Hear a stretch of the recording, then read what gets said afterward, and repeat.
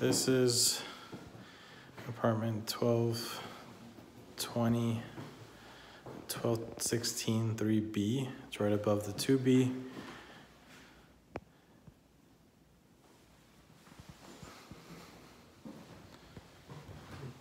Probably gets a little bit more light, or a lot more actually.